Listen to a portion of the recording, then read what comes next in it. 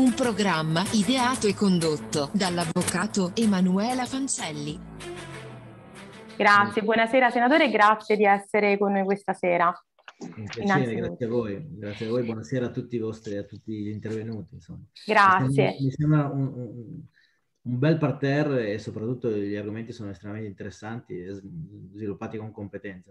La ringrazio ed io approfitto della sua presenza perché in effetti eh, parliamo di imprese e il suo partito più volte ha sostenuto la necessità di interventi in favore delle imprese, che più che altro si traducevano in un'esigenza di liquidità perché le imprese in questo momento si trovano ad affrontare non soltanto la perdita di fatturato, ma anche i cosiddetti costi fissi, anche in tempo di Covid e a serrande chiuse, se così si può dire. Però le chiedo, senatore, non è un po' una contraddizione il fatto che si parli di ristori da un lato e poi dall'altro abbiamo avuto il 16 marzo come il cosiddetto tax day nel quale sono scaduti oltre 80 adempimenti fiscali. La Lega più volte aveva in effetti proposto la sospensione delle imposte almeno per un ulteriore periodo se non proprio la cancellazione. Si sarebbe avuto un'iniezione di liquidità senza attendere i ristori. Sì, eh, sono assolutamente d'accordo insomma, con quello che ha detto, anche perché effettivamente è eh, uno, delle, uno, degli argomenti con cui noi abbiamo cercato in questi, in que- nel periodo del Conte 2 di far capire che la, la, vera necessità era la messa in sicurezza della situazione economica delle imprese, perché eh, era di tutta evidenza che con, a fronte di una chiusura, a fronte del lockdown, a fronte di tutto quello che la pandemia ci ha purtroppo dico, abituato a, a vedere in questo, in, in questo, ormai anno drammatico, ehm, doveva essere affrontato in questi termini. Bisognava mettere nelle condizioni coloro che stavano in quel momento soffrendo eh, la, il dramma che si stava vivendo attraverso appunto questo, questo tipo di atteggiamento. Io penso che nel decreto sostegni che dovrebbe vedere la luce domani, eh, non vorrei anticipare cose che poi magari vengo smentito, no? Notte tempo, cambia qualcosa. non rischiamo, le manine sono sempre, sono sempre lì dietro l'angolo in qualche modo, eh, però ad esempio la, la, insomma, questa sorta di, di, di, di, cancellazione delle cartelle esattoriali fino a 5.000 euro, vediamo se sarà 5, sarà 10.000 euro, dovrebbero dare una boccata d'ossigeno a coloro che in questo, nel periodo del lockdown non sono riusciti a, a, a far fronte agli impegni, agli impegni che avevano. Eh, io su, sulla, parte, sulla parte imprese, sulla parte diciamo sviluppo economico, l'opinione che mi sembra sia stata anche già ripetuta nel, durante il corso della serata, evidentemente parte attraverso quello che è il più grosso degli ostacoli per chiunque voglia fare impresa, che è la burocrazia. Questo ormai io credo che ogni volta che, si è, che ci sono dei tavoli di confronto eh, di qualunque genere, ma anche all'interno diciamo, del mondo sindacale, è evidente che la burocrazia è un, è un, grosso problema. Vedete, io vengo da una provincia che è quella di Savona, che è stata eh, diciamo, eh, giudicata area di crisi complessa, di crisi complessa eh, nel, 2000, nel 2016. Nel 2021 a oggi siamo ad erogare i primi contributi per le aziende che ne hanno avuto diritto. Allora, se il tempo di, diciamo, di reazione che eh, la, politi- la, politica, i soggetti attuatori, le stesse imprese a volte che magari i tempi con cui rispondono diciamo, alle, alle, alle sollecitazioni sono anche un pochino più lenti, sono questi, pro, con ogni probabilità abbiamo, abbiamo, un problema di competitività. Io leggevo l'altro giorno una, una, una un, diciamo, un bel, un bel, un, un bel trattato da parte del, del, del eh, Nazionale dei Consulenti del Lavoro, no? si parlava prima di formazione, si parlava prima di, di, di capire, ecco, oggi noi eh, non formiamo i nostri studenti, per esempio, a quello che sono le esigenze e necessità del mercato, perché se il, e lo leggo perché non vorrei dimenticarmi nessuna delle, delle, competenze. I profili più introvabili continuano a spiccare i tecnici in campo ingegneristico, i, tem- i tecnici informatici e telematici, gli specialisti in scienze informatiche, chimiche e matematiche, i tecnici dei processi produttivi, e, ma noi non li formiamo, ma se il mercato ti chiede quello, probabilmente c'è un, c'è, c'è un cortocircuito. Qualcosa no? che non va. In quello che serve al paese e quello che il paese invece, invece, invece offre. eh, tornando, tornando, anche a, a, a quella meravigliosa partita che il decreto di dignità, concordo, seppur ha mitigato, non ha risolto, eh, legato alla delocalizz- delocalizzazione, io invece voglio portare un esempio, diciamo, positivo, no? Cioè, se c'è un'azienda importante del territorio, sul territorio nazionale che è insita nella provincia di Savona, è la Noverasco. Noverasco ha spostato il proprio stabilimento da Albenga, che è una bellissima cittadina eh, sul mare in provincia di Savona, l'ha portato in una valle che si chiama Valle Bormida a 60 km, sempre in provincia di Savona, eh, facendo un investimento di oltre 60 milioni di euro, eh, ovviamente eh, usufruendo diciamo, delle opportunità che, che, che, che, la legge consentiva nel, riguardo ai finanziamenti e quant'altro, ma non ha delocalizzato. Però non abbiamo allo, allo stesso tempo premiato o non premiamo sempre questo tipo di aziende che fanno questo tipo di ragionamento, aziende familiari che portano ancora il nome della famiglia che li gestisce e che nello, allo stesso tempo, e vi inviterei a, a, fare, a visitare lo stabilimento, uno stabilimento che è a misura d'uomo, che forma le persone, che le, le, le mette nelle condizioni di avere, per esempio, non una mensa, ma un cuoco che cucina per, per i dipendenti. Probabilmente il loro smart working è uno smart working organizzato come quello di cui faceva riferimento il professor Carlo Magno prima. Cioè, ecco, mh, mm, però credo che sia la buona volontà di, un, di, di quell'imprenditore che si è, si, è, si, è, si è, caricato sulle spalle eh, l'onere di, di, formarsi su tutto quello che poteva eh, la, le, le, piattaforme diciamo, legislative consentire. Ecco, invece questo dovrebbe essere l'obiettivo del, de, della politica, no? quello di indirizzare quello che è importante per il paese in quel momento e quindi creare le condizioni perché questo, perché questo accada. Io non so, anzi ne sono certo, il decreto sostegni non soddisferà non soddisferà le esigenze di coloro che in questo momento hanno un'esigenza. Sarà necessario sicuramente un altro scostamento di bilancio, però voglio anche far presente che noi abbiamo fatto scostamenti di bilancio per 180 miliardi, diciamo 150 adesso e probabilmente altri 20 tra un po' quasi 180 miliardi.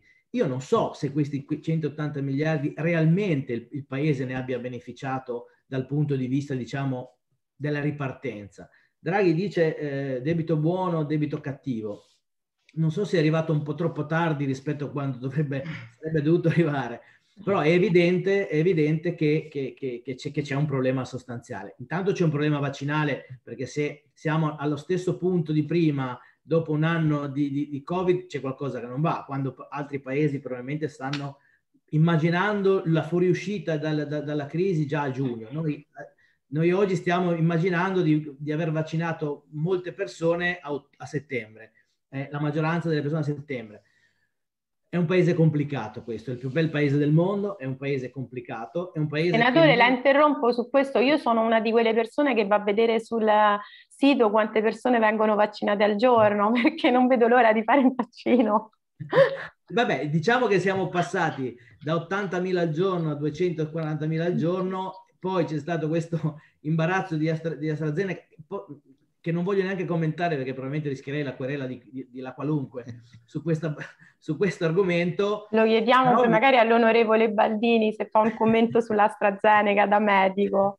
Però, però mi, sembra, mi, sembra, mi sembra di tutta evidenza che c'è davvero, ci sono spesso dei corticircuiti. È evidente che protezione civile e esercito sono molto più efficaci di qualunque altro tipo di struttura perché sono presenti sul territorio, perché sono ramificati sul territorio, perché sono abituati a vivere sulle emergenze. E quindi la scelta di Draghi in questo senso mi sembra assolutamente, assolutamente coerente. Um, per quanto riguarda lo smart working, mi permetto e poi mi taccio e vi lascio, vi lascio la, uh, la parola. Ovviamente il, il, mercato del lavoro già prevedeva lo, la possibilità di essere, diciamo, snelli eh, nell'utilizzo di questo tipo di, di, di, di opportunità il Covid ci ha obbligato, però io vedo un, un, tutta una serie di, di, di situazioni. Eh, parlavo oggi con il direttore dell'Unione Industriali della mia provincia, che mi ha fatto un quadro del, dello smart working che credo sia coerente. Ora, molto bene, perché le aziende ne hanno, ne hanno usufruito in modo coerente e corretto, cioè hanno ottimizzato, ottimizzato le, le, le, risorse approfittando dello smart working senza perdere la, la competitività qualche dubbio ce l'ho sulla pubblica amministrazione perché viaggia sul cartaceo e quindi la difficoltà anche solo di andare in un comune per farsi fare un, certificato diventa un problema. Che di fatto ancora è così, cioè al di là da adesso con, con il Covid siamo stati costretti ad, rallenta- a questo ammodernamento. Esatto, il rallentamento di tutta una macchina eh, produttiva, per esempio quella dell'edilizia che è figlia e eh, si basa sulle, su, sulle autorizzazioni che non possono essere rilasciate perché non c'è eh, l'uomo che fisicamente mette un timbro, ti rilascia un documento, perché la nostra digitalizzazione è all'età della pietra, i Flintstone probabilmente erano messi, sono messi meglio e quindi, quindi questo è un problema. Mi pongo anche un problema di desertificazione, diciamo, di quei quartieri, evidente, non delle piccole, delle piccole cittadine, ma delle grandi città. Immagino Milano, dove un palazzo pieno di uffici al 70% o il 60% di smart working vuol dire che ci sia il 60% di persone in meno che usufruiscono di un bar, di un ristorante, di, di, di, di un, un, mm. un... Ecco, questo è l'equilibrio famoso che si deve sempre trovare come tra salute ed economia, ambiente e sviluppo. Cioè ci sono sempre delle, diciamo, degli estremi che devono trovare, devono trovare una sintesi. Ecco, lo smart working bene, se diventa una regola mi pongo un problema di, mm, non lo so, è evidente che, e l'abbiamo visto nella DAD, perdonatemi, io ho due figli, eh, li ho messi in condizioni per fortuna perché vivo in, in, in, in, una realtà che me lo consente attraverso il wifi, attraverso alcune spese ovviamente che sono state fatte aggiuntive di, me, di essere in condizione di lavorare entrambi, ma io mi immagino situazioni dove non c'è la connessione, dove non c'è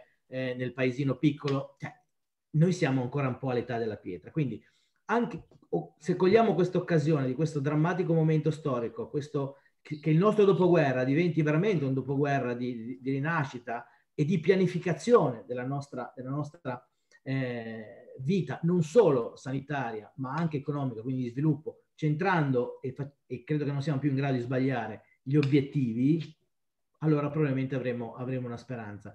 Se no, diversamente, mia figlia che ha sempre deciso di andare a lavorare all'estero, io ho sempre cercato di persuaderla, magari in, que- in qualche modo proverò a, a essere meno, meno papà protettivo, ma... Però siamo così, noi genitori siamo così, anche io sono così con mio figlio. E una cosa, senatore, ha parlato di amministrazioni locali. Le vorrei chiedere questo, quanto è importante, perché abbiamo detto dello Stato, il decreto ristori, ma il sostegno di un ente locale per un'impresa o per un lavoratore, quanto è importante? Può incidere? È fondamentale, non è importante. Ogni, qual, qualunque tipo di attività che viene fatta sul territorio, sia essa pubblica sia essa privata, passa attraverso eh, le autorizzazioni o comunque l'accompagnamento delle pubbliche amministrazioni.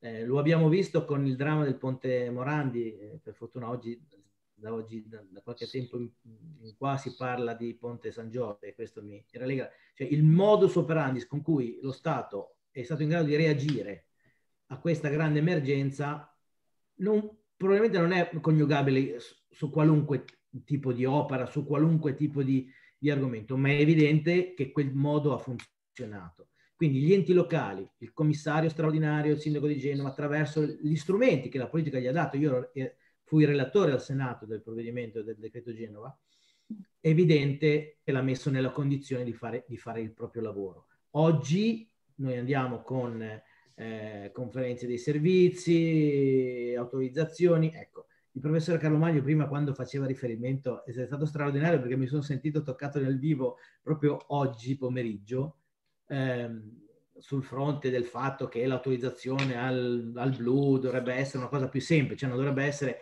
dimmi cosa devo fare per avere l'autorizzazione, ma te la do perché mh, digitalmente schiacciando un motore verifico il tuo stato e sono nella condizione di potertela dare. Bene, oggi mi hanno chiesto la carta d'identità e subito dopo mi hanno chiesto il codice fiscale nel, con l'altra cosa. Quella tessera sanitaria. Quindi, dire, quando lei l'ha citato io mi sono ritrovato perfettamente inserito nel contesto del dramma del nostro paese dal punto di vista della tecnologia e dell'innovazione tecnologica.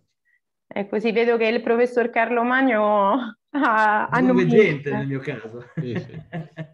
È così. Io la ringrazio su questo senatore e la invito ovviamente a rimanere con noi perché...